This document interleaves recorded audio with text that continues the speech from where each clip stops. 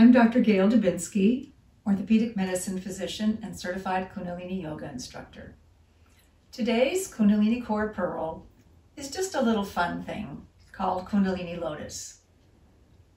It involves breath of fire. It involves balancing on your tailbone and lifting the legs up into the air about 60 degrees, about three feet apart.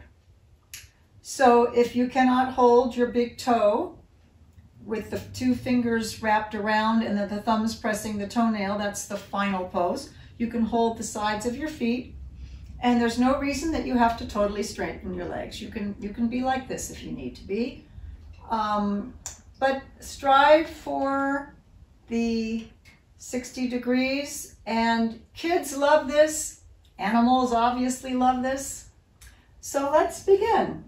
One minute. Let's do it together. Just do whatever variation you can do.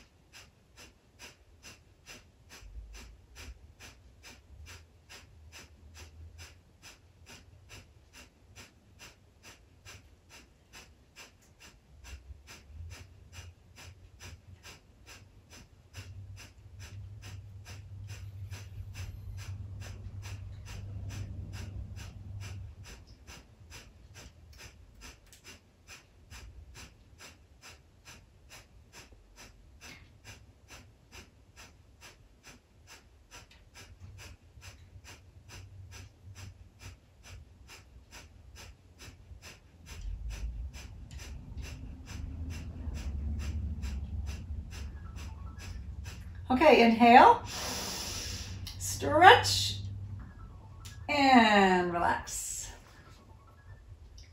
You can do that for longer if you like.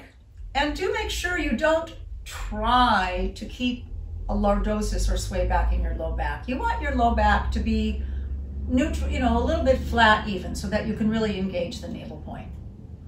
So it doesn't all have to be work or difficult. It can just be fun sometimes to work on our navel point. Satnam. I hope you enjoyed this video and that practice helps reduce pain and stress and enhance your well-being. Please check out my other short videos on this channel and my full-length videos at rxyoga.com.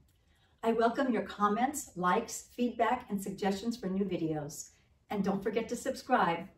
Namaste.